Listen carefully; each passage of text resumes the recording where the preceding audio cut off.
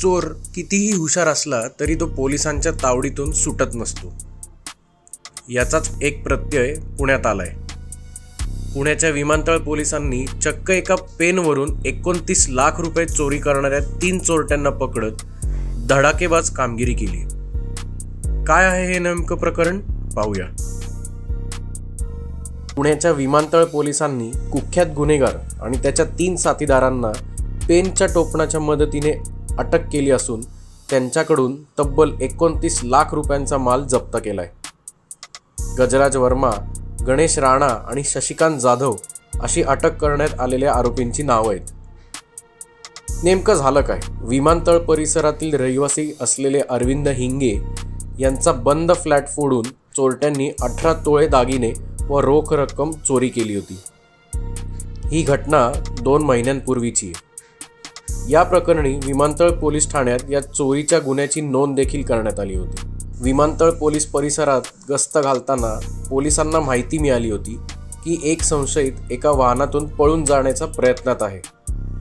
पोलिसांनी सापळा रचून त्याची गाडी अडवली आणि त्याची झडती घेतली असता त्याच्याकडून एक महागडा पेन आढळला आणि त्याच पेनच्या टोपणावर अरविंद हिंगे असं लिहिलेलं आढळून आलं. पोलिसांनी हे लक्षात येताच त्या आरोपीला ताब्यात घेतलं आणि या सगळ्या गुन्ह्याचा छडा लागला.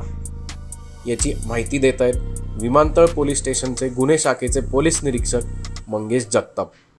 दिनांक सोळा बारा दोन हजार एकवीस रोजी आमचे तपास पथकातील P S I Sachin Jadhav आणि सोबत स्टाफ असे लोहगाव परिसरात गस्त करत होते. गस्त करत असताना एक गोपनीय बातमीदारांनी त्यांना माहिती दिली की एका वॅगनार कारमध्ये एक संशयित इसम फिरतोय म्हणून. मग अशी माहिती मिळाल्यानंतरच त्यांनी सापळा रचून त्या इसमास ताब्यात घेतलं.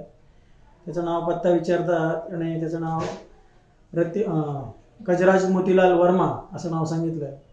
आणि त्याचा पूर्व इतिहास पा पडताळ असता त्यावेळेस त्याच्यावर यापूर्वी चोवीस घरपुडीचे गुन्हे दाखल असल्याची माहिती मिळाली. त्याच्या जी वॅगनार कार त्याच्या ताब्यात होती त्याच्यामध्ये घरपुडीची जी हत्यारं असतात ती पण मिळून आली. त्याच्याकडे तपास केला अंक झडती त्याची घेतली. तेव्हा त्याच्याकडे एक बॉलपेन एक महागडा बॉलपेन मिळून आला. आणि त्या बॉलपेनवर अरविंद हिंगे असं अक्षरं कोरलेली होती. सदरचं जे अरविंद हिंगे इसम आहेत त्यांनी दोन महिन्यापूर्वी त्यांच्याकडे घरफोडी झालेली आणि त्यांची आमच्याकडे फिर्याद दाखल होती गुन्हा दाखल होता. तर पेन त्याच्याकडे मिळून आल्यामुळे हे लक्षात आलं की ही सदरची घरफोडी ह्याच इसमाने केलेली आहे. त्याच्या पोलीस स्टेशनला त्याच्याकडे आणखी तपास करतात त्याने या अरविंद हिंगे यांच्याकडे घरफोडी केल्याचं कबूल केलं आणि त्यासोबतच आणखी इतर आठ ठिकाणी त्यांनी घरफोडी केल्याचं कबूल केलं. तसेच त्याचे दोन साथीदारांची पण त्यांनी नावं सांगितली. त्याचे शशिकांत जाधव आणि गोरे रवी रती राणा असे दोन साथीदारांचे नाव सांगितल्यानंतर तपास पथकाने त्यांनाही ताब्यात घेतलं आणि असं तिघांकडे तपास करून एकूण नऊ घरफोडीचे गुन्हे उघडकीस आणलेले आहेत. त्यातील एकूण जवळजवळ एकोणतीस लाख वीस हजाराचा मुद्देमाल सोन्या चांदीचे दागिने हस्तगत करण्यात आलेले आहे. अरविंद हिग्गे यांनी जी तक्रार दिली होती त्यामध्ये असं नमूद केलं होतं की त्यांचा एक महागडा पेन ही चोरीला गेलेला आहे. त्याच्यानंतर दोन महिन्यांनी जेव्हा हा आरोपी आमच्या ताब्यात मिळाला. त्याच्या अंग झडतीमध्ये एक महागडा असा बॉल पेन मिळून आला होता. मग ते बॉल पेन त्याची जर आपण बघितलं शरीर एष्टी आणि पेहराव जो बघितला तर एवढा महागडा पेन वापरल असा इसम वाप वापरणं जरा अवघड वाटत होतं. आणि बॉल पेनवर सरळ सरळ ते अरविंद हिंगेचं नावच कोरलेलं होतं.